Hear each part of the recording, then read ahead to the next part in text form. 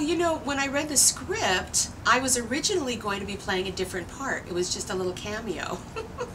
and Margaret Cho was playing the therapist. And then she had a conflict. So Chris Lee, who was one of the producers, called and said, "Can you do Margaret's part? Can you do the therapist?" And I'm like, you know, for me, oh, this is so bad. But I'm like going, oh, I spend a whole another day, way more work for the same amount of money. Because mostly I'm doing it as a favor. Right. So bad, so so bad. Yeah, but look what you get to show. But, you know, I said, okay. So then, um, and I'd worked with Quentin before doing little tiny little bits and pieces here and there. And I really liked him, but I hadn't worked with him like in a real movie. You know, because he does like community things Yeah. sometimes. Anyway, um, and it turned, you know, I don't know, I don't know Booboo Stewart, I don't know any of, you know, I don't know anything.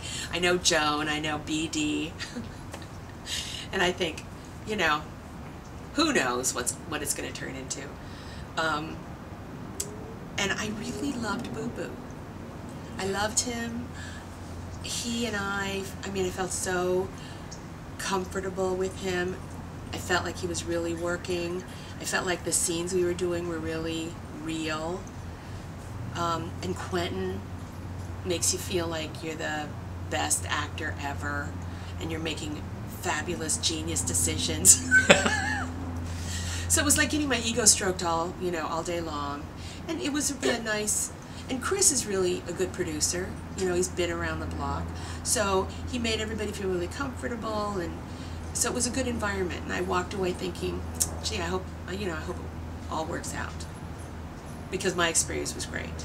And then when I saw it, I was actually like, wow, it's even, you know, for me, it was like different than what I thought it was going to be.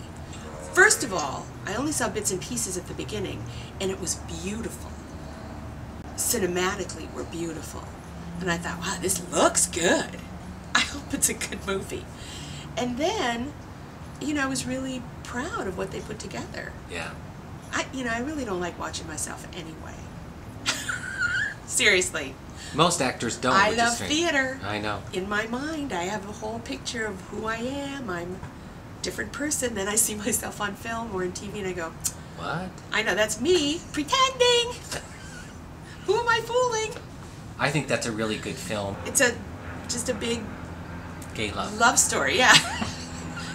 and they're gay. but it's really, really sweet. Comedy. Comedy, definitely. And, there's plastic surgery involved because I'm a plastic surgeon. So I was just gonna ask what your role is. So you play I'm a plastic doctor again. surgeon. I'm a doctor again. yeah. Yes. How is your plastic surgery skills? Um, fine.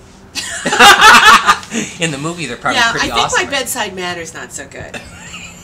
I'm channeling that part of me that is uh, probably the uh, unpleasant side of um, myself. I'm not channeling anybody else in particular. It's just me on a bad day. so, so now we know how you are on a bad day. Yeah. Watch the movie, right? Yes,